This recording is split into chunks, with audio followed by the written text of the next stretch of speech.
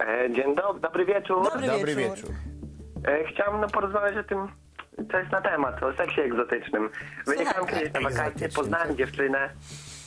No dziewczyna miała 25 lat, ja 20, to było kilka lat temu, nie? Gdzie to było? Jaka dziewczyna? Jakiej, z jakiego kraju?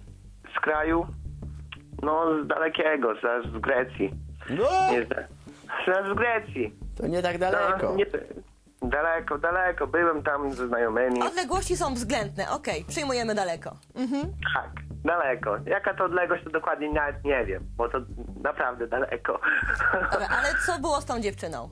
No poznałem, poszliśmy do hotelu, tam byłem troszkę mm, to z kolegami po alkoholu. Uzo wypiłeś oczywiście, jakąś mastikę. Bardzo dużo, bardzo dużo, aż to była przesada, wie Jest pan. gorąco, chce się pić, tak?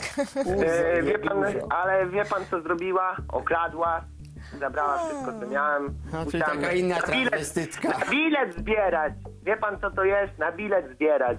Ostrzegam wszystkich widzów, żeby tego nie robili. Żeby tak nie wyjeżdżali, żeby ich nie okradali. Żeby tak się nie, nie dali Tak. nabrać. Tak, żeby I się może nie dali żeby- nabrać, ma pan rację. Żeby się To nie jest- upijali tak szybko a pani, te, a pani też ma rację. To, jest, to się szczególnie zgadza. No ale trochę zasmucisz ty tej mężczyzn, no bo, no bo mężczyźni, no jeden się nabrał, drugi się nabrał, a dziewczyny wracają szczęśliwe. O, dziewczyny szczęśliwe, a szczególnie jak okradną.